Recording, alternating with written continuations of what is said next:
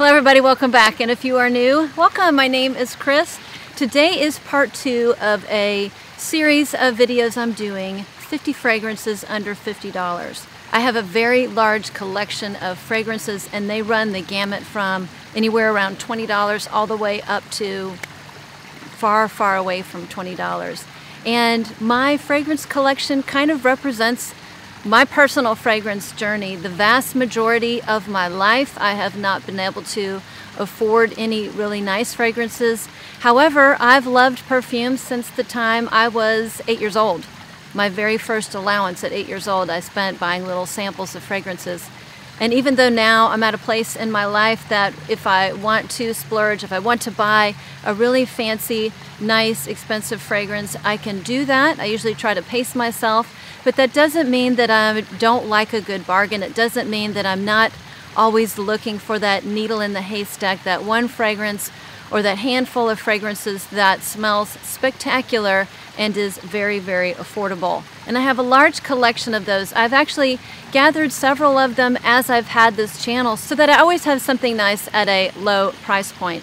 Now, it is Labor Day weekend. I typically film on Friday nights after work. Well, it's been raining and it's rained all day. So the sky's opened up. It's about 6 o'clock at night. Let me check what time it is. It's 5.30. And here in the Midwest, it's gotten colder quickly. My pool is even almost too cold to get into. The sun's going down earlier, and I have about 25 fragrances to get through. So part one of this series was, I think it was 10 fragrances that were under $50 that I just didn't care for. I personally didn't think they were good smelling fragrances, even though they had a great price point. And those I have decluttered or I'm in the process of decluttering. This middle category, these 25 fragrances, these are fragrances that I think are very, very good fragrances. They're not the cream of the crop, they're not the very top, they're not the top 15, but they're still fragrances that I think are made really well and are set at a very good price point. There aren't any fragrances in here that I just don't like. Some of you may not like these fragrances because a lot of them are not beast mode. And as you can imagine, I have people on my channel that love beast mode fragrances and I have people on my channel that like them on the quieter, softer side. So if you're really into your niche fragrances and you're only looking for something that's a big, heavy hitter fragrance, it's probably not in this collection. My top 15, there are some heavy hitters in there, some fragrances that do last, and that's one of the reasons why they made it into the top 15. But these are still great fragrances, and I can guarantee you, I will talk about some of these, and in the comments I'm going to get, I have that fragrance, and I love the fragrance. At the same time, there's going to be comments that say, I had that fragrance and I got rid of it because it just didn't last long. So to each his own, I was stressing about getting this video done in a timely manner because if you've ever been here before, you know that I am quite the talker and I didn't know how I was going to get through 25 fragrances in a reasonable amount of time. I'm going to divide that into two. This is going to be the speed dating equivalent of fragrance reviews today. And these fragrances are in no particular order at all. I'm just going to grab and go. And with that, let's get started. So this first fragrance that I picked up should have been in my white t-shirt fragrance video. It just got overlooked because if you've seen my videos before, you'll know that I store my fragrances all over the place. I have a very large collection and sometimes it's out of sight, out of mind. And this is a fragrance I don't see anybody talk about. And as long as you like light, fresh fragrances that don't last forever, you may very well love this fragrance. And it is called CK One Gold. And I think this is actually marketed towards men. But this is a really nice, casual, citrusy, woody, aromatic, floral fragrance with fig. When I guessed the notes in here, I guessed there was an opening of lavender. There's no lavender in here. I think it's, oh, it's sage and then there's some really bright citruses. I would guess lemon, lemon and bergamot, maybe grapefruit. And there's a really nice fresh fig. It's not too sweet and it's not too green. I don't like green fig. That just doesn't go over well with me. There has to be a little bit of sweetness and a little bit of freshness. It does have a nice sweetness to it, but it's not a sweet fragrance. It's like a, a powdery sweetness, and I want to say I think there's violet in here. But it's very nice, very refreshing, a great warmer weather fragrance if you live somewhere warmer. The negative is it doesn't last long. It doesn't last longer than four hours. So, but it's still a great fragrance. I want to say, I think I wrote it down. Did I write it down somewhere? I wrote it down. I wrote all the prices down. I paid $30 for this. Yeah, so $30 for this, and it is a 3.4 ounce. So a great quick grab and go, fresh, aromatic fig fragrance for around $30. So the next fragrance is majorly, majorly underrated. It is by Mont Blanc, and this is called Presence d'une Femme. And of course, I'll put the name up on the uh, on the screen. Oh, I had it upside down. This is a great fragrance. I've wore this a couple times this week. This is spicy. This is a spicy, woody fragrance with like overripe citruses. I love this. Oh, I'm gonna sneeze. Woo! Okay, this has pepper in it. It has like an overripe orange or mandarin note to it. There's some beautiful woods in here, like spicy woods and spicy florals. But it has a heavy dose of patchouli, and there is um, vanilla in the dry down. It's not sweet at all, but it is just a great, very unique fragrance that I absolutely love. And I wrote down what did I pay for this? I paid $25, $30 for this. And this is like a 2.5 ounce. Oh my gosh, one of the best fragrances in this basket right here. Longevity is moderate, okay? It's really good on clothes. On skin, I would say it's around four hours. So, okay, so the next one um, I have spoken about before a couple times. And if I go over these too quickly, I have spoken about most of these, almost all, maybe maybe 10 or so I haven't talked about. I'm going to link the videos below. Other videos I've spoken about them in greater detail. The next one I've talked about a lot, and I posted this on Instagram. This is Elizabeth and James Nirvana White. I love their packaging here. I just love it. And what did I pay for this? Uh, this one I didn't write down what I paid for. I want to say it was around $20. So this is a, a fresh, clean, floral musk. This has peony, this has the lily of the valley and musk, and that's about what you get. It's just, wow, this is very, there has to be some sort of citrusy and citrusy note in here. It's just a super easy wear, easy reach, light, likable fragrance. Another good one for the white t-shirt. Again, I would say moderate longevity. When I say moderate, I'm talking about four hours. And this is so cute. I think this is a one ounce bottle. You can just put it in your bag, grab and go. Okay, so the next one is Gianfranco Ferré Rose. I spoke about this, I think it was in my summer florals. And this is a like a spicy, peppery rose with watermelon. Of course, there's rose. This is one of two fragrances I have with watermelon in it. This kind of reminds me of just a little bit, and I mean a little, little, little bit of Parfums de Marly Delina La Rosée. I mean, just a little bit, in that they both have this little watermelon thing going on, and that's about it. Then they're different fragrances. This is a much more affordable option. It's a little bit more citrusy. It has more citruses in it. Like I said, there's there's pepper or pink pepper, and it definitely has some sort of white floral. I would guess freesia or maybe peony. It's just a touch, touch synthetic, a little bit soapy, moderate longevity. And again, spice things up. I think I brought about maybe five or six different pairs of sunglasses. I have to entertain myself too, guys. Oh, let me open my Dr. Pepper. Whew. Thirsty.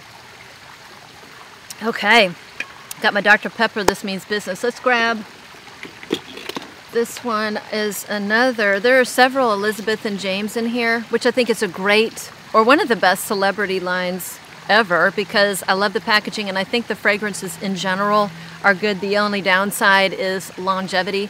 People are starting to come out and play in their pool in the backyard because it's sunny now. Again, it was raining all day. But um, so this one, what I grabbed, this one is amethyst right here. I love these packages. And did I write down what I paid for this? No.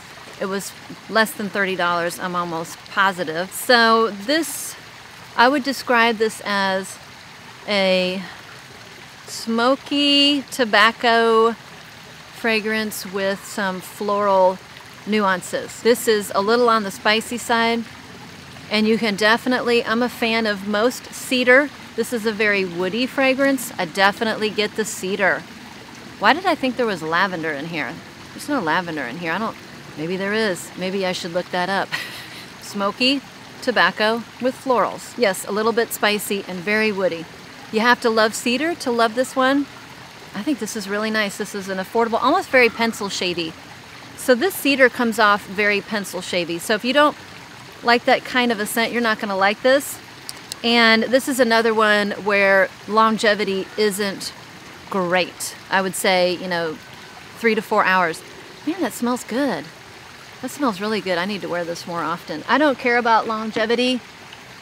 Well, I do care. If it's less than two hours, I care. If it's less than one hour, I care. Other than that, I can make it work, particularly at my job. Those work really well.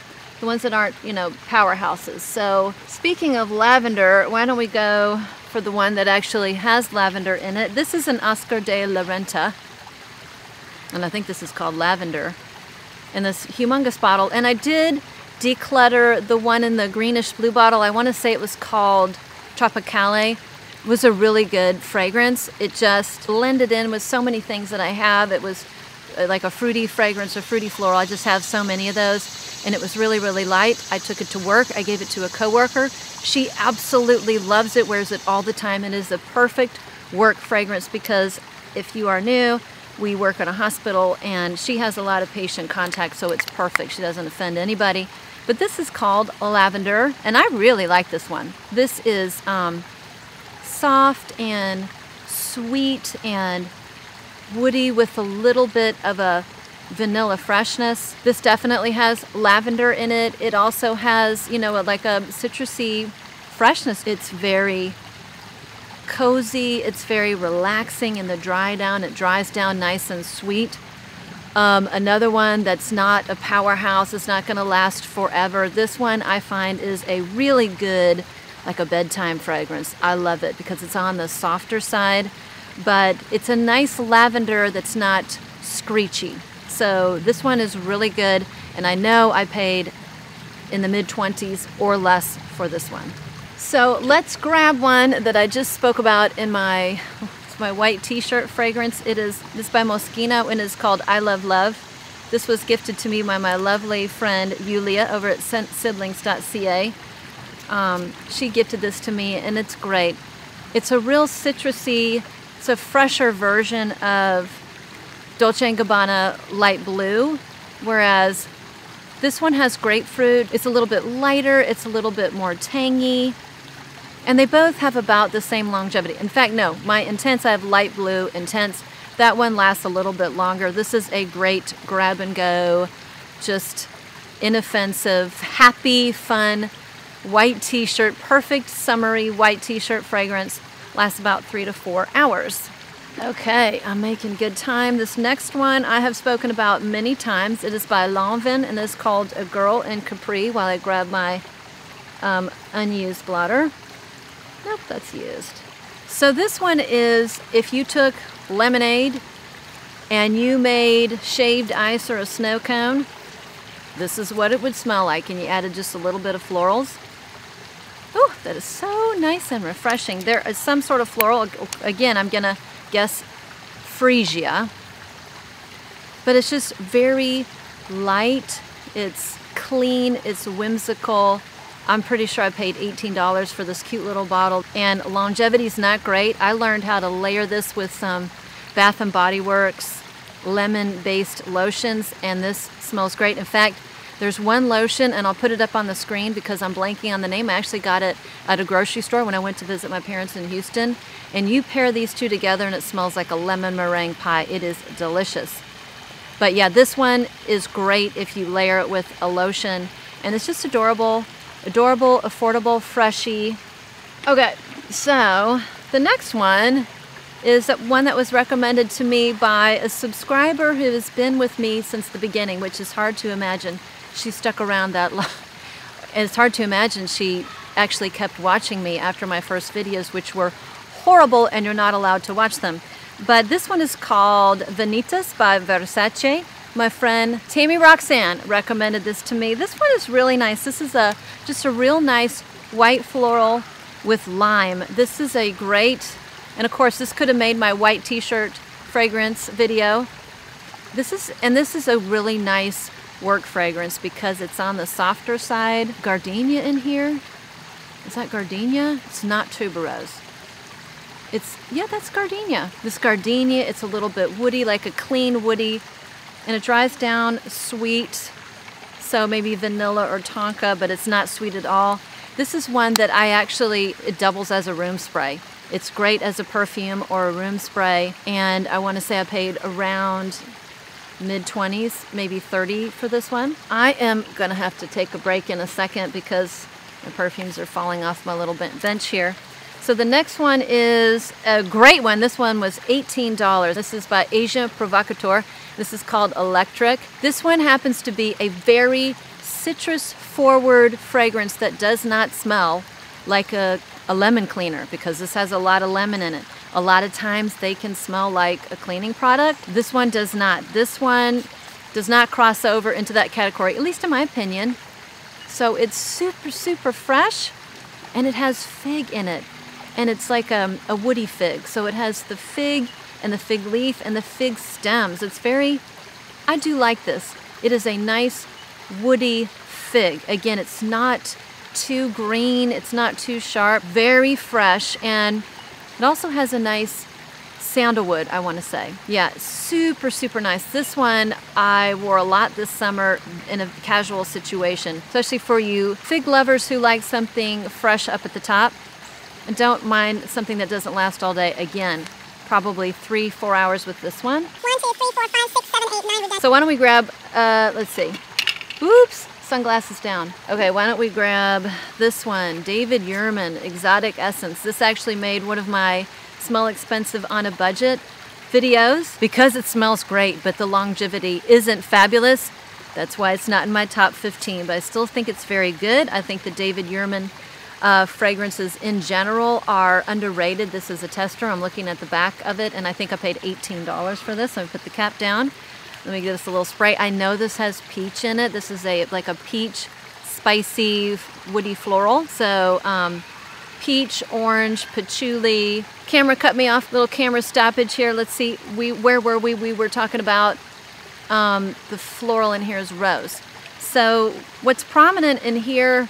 Uh, the I get peach. There's orange, patchouli. There's a little amber in the base. It's sweet and a little bit powdery, and it just reminds me of fragrances from the 90s. A lot of fragrances from the 90s had peach in them, and this is just a really elegant smelling fragrance that, let me see what I paid for it. I wrote them all down on a sheet. Okay, I paid $15 for this because it was a tester. I mean, come on, 3.4 ounces, who cares how long it lasts? Well, I know a lot of you do care, but for $15, I mean, some coffees cost more than that, certainly lunch. But yeah, so you're not going to offend anybody if you wear this to the office. It is one you're going to have to overspray or really pair with another lotion or just have a soft fragrance. But I mean, for $15, I'm happy I have it. And so let's see. Um, I see that I forgot one, two, three, four, five, six, seven, eight, nine, ten, eleven. All right, let's call it with this one. This will be the end of part one with my Nina Ricci and I forgot the name of this. This is called Rose Extase, I want to say. Yeah, in this little pink bottle. And this is a happy, uplifting, fruity rose. Kids are having a good old time on the other side of the fence. Yeah, so the rose in here is kind of half clean and crisp, and the other half it's a little sweet, just a little jammy, I would say. So half and half. It has a real fruity playfulness to it. There's berries or fruits, I want to say red berries, but there's also a tartness here, so maybe some citruses up at the top. It's got a little bit of tartness to it. So a lot of people compare this to Delina. I think there are a lot of differences. This one is a lot more tart. It's more fresh. It's a little bit soapy. It does not have that green rhubarby thing going on. I think this is a nice fragrance for the warmer weather. I don't think this does well in the cold. I haven't worn it in a long, long time. But this really is a warmer weather fragrance and it does, in the warmer weather, it lasts has great longevity. I would say five to six hours on this one. And with that, I'm going to stop for part one. I'm gonna keep filming, but I'm just gonna end it right here for part one. And then part two, we'll finish up with my kind of my mid-range fragrances under $50. And then on the next video, we'll cover the rest of these fragrances that are in the mid-range. And on the final video, I will do like my top fragrances under $50. And I should have said in the opening, there are no dupes in here. And the reason I say no dupes and that these are all original is that, I mean, is that my dog? Oh, can you see my little dog? She's over there. Hi, Winnie. Hi, sweetie. Is that I could do 200 fragrances under 50. I could do 300 fragrances under $50. So that's not the point. The point is these are all original. Has nothing to do with my view on dupes or whatever. It's just these are original, no dupes as far as I know of. So yeah, the next one will be part two of this one. So part three is going to be finishing out these 25 fragrances that are in the middle. Fragrances I think that are very good. And I think all of them were under $30 that I talked about. And then, and then part four, the best of the best, my final smell expensive on a budget, my final episode of that one. So if you like this video and you're interested to see what the other 12 in this little collection are, I will see you next week. That'll come out next week. And thank you again for sticking around. Thanks for stopping by. And if you have any really good suggestions that I didn't mention, I'd love to hear about it in the comment section. And with that, I'll see you next week.